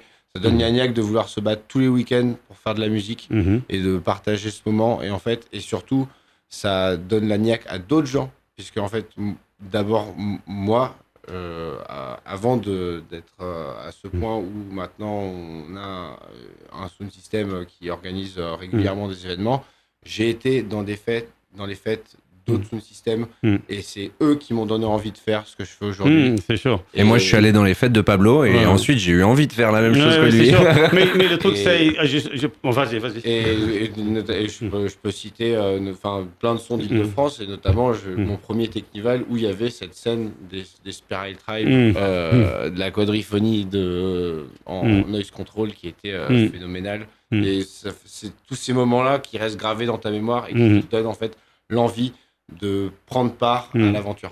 Oui, c'est ça le point. C'est pour ça que, en fait, je pense que c'est facile d'avoir confiance dans les gens comme, euh, comme nous, tu vois, les gens qui viennent de notre milieu. Parce que combien de fois tu as besoin de prouver que tu es là pour jouer gratuit avant les gens comprennent, tu vois? Évidemment, on est là pour jouer gratuit. Évidemment, on comprend tout ce que tu dis. On, on est là pour ça, évidemment. Mais moi, je parle de les points de focus un musicien ou quelqu'un qui est dédicacé à un craft, une, une manière de développer quelque chose. Nous, comme par exemple ce soir, X et moi, on va jouer, on ne sait pas qu'est-ce qu'on va jouer, on va improviser, ça va être une heure de quelque chose, aucune idée. Et comment ça se fait qu'on peut faire ça aujourd'hui? C'est parce qu'on était 100% là tout le temps, sans arrêt. Et ça, c'était grâce à le fait qu'on pouvait jouer dans le tough pour gagner notre argent et pas ailleurs. Tu vois, parce que oui, on peut aller faire un travail sur le côté et à le week-end aller faire la fête. Mais quand tu as un gosse qui arrive et tu as le pressure de chercher le fric la semaine et à le week-end, ton gosse est là et tu as besoin d'être là pour le gosse et tout ça, ça se complique, tu vois. Et si toi, tu es dans une position où tu as une générosité, un soutien de ton, euh, le people- les gens qui viennent à le week-end pour toi et tu fais un larcène positif de un, euh, tout le monde soutient tout le monde, tu vois. Toi, tu es en train de donner, tu fais des teufs gratuits. Euh, combien de fois tu dois faire un teuf gratuit avant les gens te soutiennent, tu vois? Et je pense qu'aujourd'hui, on voit que c'est en train d'être compris et c'est en train d'arriver ce sorte de choses où les gens spontanés dans le teuf vont juste aller voir, va- vas-y, prends 10 balles parce que merci les gars, c'est génial qu'est-ce que tu fais pour nous, merci, tu vois. Et c'est tout ce qu'on parle de. C'est parce que sinon, pour moi, euh, je trouve que ça nuit à la qualité de la musique qui peut être atteinte. Parce que quelqu'un qui est focalisé sur la musique 24 sur 24 sur 24 sur 24 tous les jours, tous les jours, il va avoir un niveau largement plus haut que quelqu'un qui est obligé de faire un travail sur le côté, gérer tout ça. Avant, il peut aller faire une heure le soir, peut-être un petit répétition, un truc comme ça. Et je suis désolé, moi, je suis là pour la qualité de la musique aussi. Et je pense que ça vient de la générosité de, de- de les gens. Bien On ne demande pas Bah, grand-chose. Après, après ça, Parce que, ça pour fait- moi, pour vivre de ça, euh, c'est juste dans d'autres cadres festifs en fait. Tu vois que tu euh, que tu, tu peux vivre de ton de ton de ton art. Hmm. La, la free ne fait vivre personne à part la fête. Tu Hmm. vois. Enfin moi, selon moi, c'est comme ça que je la vois. je suis- Elle fait vivre que la fête. Oui, Et, et Hmm. pers- Mais- personne. Mais ce qui, ce qui découle, Et ça me freeform. Ouais. Euh, ça c'est mesquin. Euh, ce qui découle en fait, la free elle fait vivre personne et elle ne fait vivre qu'elle-même, mais euh, ce qui découle autour, en fait, ça fait vivre plein de gens. Euh, notamment euh, des, Bah, les métiers, des, des les, euh, artistes, euh, des techniciens, euh, des, par exemple des, même des food trucks. hein. Mm, mm, mm, J'ai quelques exemples de, de personnes qui étaient en galère et qui sont venues découvrir le milieu de la teuf et qui ont réussi à rebondir grâce à ça. Euh, c'est vraiment en fait ce, ce- ce- ce côté en fait où on il y a, il y a pas de d'attente en fait euh, des personnes qui viennent euh, monétaires et euh, qui, on demande juste de l'énergie et, euh, et, un- et une sensation de fin de de, de, par- de partage en fait de- d'un moment où en fait où euh, en fait en responsabilisant les gens et en leur euh, disant de venir euh, euh, pa- partager ce moment Mm. euh, on, les, on les pousse en fait euh, à pas venir simplement consommer la fête et à la Mm. vivre et à Et la, ces et à la valeurs-là- faire vivre Oui, c'est oui, ça, oui. et ces valeurs-là, elles, se- elles elles se répercutent dans le quotidien de ces Mhm. gens-là. Dans le sens où les gens qui passent par euh, l'éducation de la free, euh, et moi ça a été mon cas, donc j'en parle en connaissance de cause, Mhm. euh, ça te donne des réflexes pour la vie, sur euh, des trucs cons, mais sur l'écologie, sur le Mhm. respect, sur, sur comment tu te comportes sur un dance floor, comment tu te comportes socialement, et, et, et, et en plus, en plus de ces valeurs-là et de ces principes-là, un peu qui peuvent être très pragmatiques, tu vois, de juste pas jeter tes trucs par terre, quoi. Enfin, c'est con, mais enfin ça c'est un truc, ça fait 20 ans que que c'est- répété, répété, répété. peut-être de ramasser quelque chose que toi, tu Que- et voilà, tout ça. Et ça, c'est ça, c'est la V2, ça, c'est le C'est clair, 2.0, c'est ça.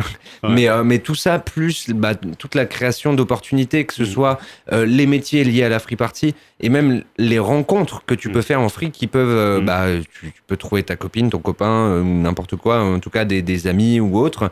Euh, donc, ça, c'est le côté sociabilisation. Tu peux avoir des rencontres professionnelles aussi, des gens qui peuvent te faire taffer après. Enfin, tu peux avoir des, des- Enfin, moi, par exemple, mon, éco, mon, mon écosystème de vie sociale Mm. est quand même largement composé de gens qui sont issus de ce milieu-là. Mm. Donc, c'est c'est plus qu'un mouvement artistique et plus qu'un mouvement euh, musical et festif. C'est vraiment un catalyseur de vie. Bon, c'est quelque chose que le, le gouvernement français euh, euh, devrait être euh, plus intelligent de comprendre ça parce que on a vu ça avec Royaume-Uni, tu vois. Bien sûr. Apparemment, le, la musique populaire en Royaume-Uni, il, il fait le plus, le troisième plus grand chiffre d'affaires de l'année. Et tu peux être sûr que le gouvernement fait beaucoup plus des impôts que les artistes, tu vois. Et en fait, quand tu rends compte que en fait, c'est ces endroits où le, le, les arts et la musique et la danse sont donnés liberté d'expression, c'est là que toutes les bonnes idées euh, arrivent. Et la musique, euh, il aime ça. Comme musicien, je sais que la musique passe par nous, tu vois. C'est pas nous qui créons la musique. La musique passe par nous, tu vois. Et euh, on est témoin de, des inspirations qui viennent quand tu es dans des endroits plus libres, tu vois. Et c'est notamment là que toutes les bonnes idées manifestent et devenir des carrières qui, enfin, pour le gouvernement, euh, génèrent des carrières, tu vois, sûr, pour les gens qui, qui euh, c'est, des choses qui sont fabriquées de la créativité. Tu vois, c'est des gens qui fabriquent une vie de leur créativité, de leur talent, de leur Bah, après, imagination. si on analyse ça politiquement, Ouais. euh, on- enfin dans les dans les relations qu'il y a pu y avoir et dans les rapports qu'il y a pu y avoir du gouvernement, etc. sur euh, sur la free, euh, il y a des, choses écrites noir sur blanc. euh, des papiers, des analyses du gouvernement qui disent que euh, la free euh, c'est un endroit de sociabilisation, c'est un endroit de création euh, artistique, etc. Euh, entre guillemets, si on peut personnifier le gouvernement, euh, on peut dire le gouvernement le sait que s- il y a Que ça c'est un- ouais, aussi dedans, que il, c'est- Mais on, on dirait qu'il qu'il en a plus peur qu'il ne le soutient, quoi. bah, en tout cas, dans, dans les politiques actuelles, en tout cas dans les gens au gouvernement qui ont de l'influence, qui ont du pouvoir, etc., c'est pas dans les calculs stratégiques politiques. Faut pas oublier que, enfin, en tout cas, moi, c'est ma vision de la politique, c'est que, euh, en tout cas, les gens aujourd'hui qui sont au gouvernement travaillent pour se faire réélire parce qu'ils travaillent pour garder leur poste. Et, euh, et, et sur les personnes qui ont du pouvoir dans ces milieux-là, euh, ces gens sont très bien au courant des avantages que ça peut apporter à une certaine partie de la population, sauf qu'ils savent très bien que souvent cette partie de la population, elle n'est pas électrice ou électeur. Enfin non, c'est la population, donc euh, elle n'est pas électrice, donc c'est pas forcément un bon calcul de jouer sur ce truc-là, sur des gens qui vont pas forcément venir euh, voter pour toi. Euh, par contre, satisfaire les conservateurs, conservatrices et toutes les personnes qui ont des préjugés sur ces événements, souvent ça va être des personnes qui vont par contre avoir un pouvoir électoral plus grand parce que c'est des personnes qui vont voter et pouvoir voter pour ces pour les les politiques au pouvoir et donc leur la stratégie c'est de c'est de de plaire aux personnes qui, qui les élisent en fait et euh, et, et aux gens. Puis, ça maintient quand même cette espèce Ouais. de, de, de sphère euh, entre guillemets sécu- sécuritaire, puisqu'ils jouent sur des. Ils tablent sur des arguments en fait qui sont complètement déconnectés en fait de ce qui se passe vraiment, qui est euh, que euh, oui, euh, la free, euh, c'est euh, des drogués, c'est euh, des marginaux, c'est. C'est alors alors que c'est pas vrai. Dans la free, il y a tout le monde. Il y a du, du de l'ingénieur informatique jusqu'au chômeur, jusqu'au boulanger, en passant par euh, tous les corps de métier, euh, tout confondu. Et c'est- c'est c'est ça en fait euh, qu'ils ont du mal à saisir, c'est que euh, c'est Monsieur Tout le Monde en fait. C'est c'est un, c'est un réel venez comme vous êtes. Et surtout, c'est le futur, c'est l'avenir de ce pays. Tu vois, il y a moins en moins de gens qui votent, moins, de gens, moins en moins de gens qui croient. Tu vois, parce Bien que tu, tu donnes, tu as un seul vote chaque cinq années. Et après, le mec, il peut faire ce qu'il veut pendant cinq années. Tu n'as aucun choix là-dedans, tu vois. Et les gens, ils ont ras-le-bol de ça. Et en fait, tu es en train d'agresser l'avenir de ton pays, tu vois. Et bravo les gars. Chapeau. Euh, on arrive euh, à la dernière 10 minutes. Euh, Ok. euh, tu, tu peux jouer tout de suite ou tu veux que je mette un morceau ouais? Je veux bien que tu le Ok. fasses. Euh, Peut-être euh, un dernier mot de tout le monde? Ouais, une petite conclusion. Vas-y, tu veux commencer? Euh, bah alors, euh, par où commencer? Enfin, Par où commencer pour finir? Euh, Bah tout d'abord, merci beaucoup euh, de nous avoir euh, reçus ici. Merci à Reims et, euh, et merci à toi, Seb, d'être présent aujourd'hui et à toi, Robin. Euh, je tiens, ouais, je, pense que le mot de la fin, ce serait euh, euh, qu'il faut continuer à continuer le combat, continuer à, à, mettre cette énergie et, à, et alimenter en fait ce mouvement qui, qui, qui, est, qui est merveilleux et qui permet à plein de gens en fait de se distraire, de découvrir des choses, découvrir un autre mode de vie qui n'est pas celui euh, qu'on nous sert euh, dans, les grandes lignes. Bah écoute, moi je te, rejoins complètement sur cette conclusion, euh, Pablo, et je, re- je rajouterais que un des très bons moyens pour soutenir ce mouvement, c'est d'aller en free party et de faire des jolis dons à la donation, et si vous pouvez pas, de faire des dons sur euh, la cagnotte du fonds de soutien sur LOASO que vous pouvez retrouver sur la page Facebook du fonds de soutien juridique des sons. Donc euh, soyez généreuses, soyez généreuses et, euh, et le combat continuera pour la liberté festive. Et juste pour rajouter à ça, euh, un grand remercie à Reims, c'est vrai, pour avoir carrément nous soutenu. Merci pour leur accueil. Donnez-nous une chance de faire un takeover dernière minute comme ça. Et ça donne beaucoup de- d'espoir qu'on peut franchir les barrières entre toutes les différentes parties de l'Emily Rave et viennent ensemble avec le même euh, sentiment qu'en fait, on est là pour la liberté. Et c'est ça, je, euh, tiens à, à envoyer euh, le plus grand respect de toutes les sonos qui sont là en train de euh, euh, essayer d'exister dans un climat aussi hostile. Parce qu'en fait, le plus il nous frappe, le plus il nous montre qu'en fait, il ne veut pas qu'on soit libre, tu vois, tout Bien simplement. sûr, Coup, sûr. ça devenait une bataille de la liberté. Du coup, euh, vous n'êtes pas là pour rien. Hein. Et la prochaine bataille, c'est le 31 juillet pour la nuit d'émeute partout en France. Euh, Il y a des free parties dans toute la France, donc Ouais. euh, vous pourrez en trouver une obligatoirement euh, autour de chez 50 vous. C'est ça. vous. Le 31 juillet en France, ça Allez pète. festoyer, les jeunes sont des terres, et les vieux et tout le monde. Tout le monde. On va terminer avec une, euh, encore une euh, track de Sparrow Tribe euh, de l'EP Sirius 23, euh, ça s'appelle Predator. Encore, euh, bientôt, tu vas voir, euh, on va sortir tout ça sur euh, Spotify et tous les réseaux Internet. et en plus, on va ressortir le vinyl bientôt. On, a, on est aussi en train de finaliser le ressorti de tous les catalogues des années 90 de Network 23 et euh, Crystal Distortion, 69dB, euh, tout ça. Euh, tous ces disques qui, qui montent à 300 balles, on va casser ça encore en ressortant toute cette musique. Du coup, regardez bien chez Toolbox à Paris et à droite et gauche dans les, les magasins disquaires. Et juste sache que n'importe moment tu achètes un disque Spiral, ça va direct à notre scène. Du coup, euh, allez, c'est une bonne manière de faire un don.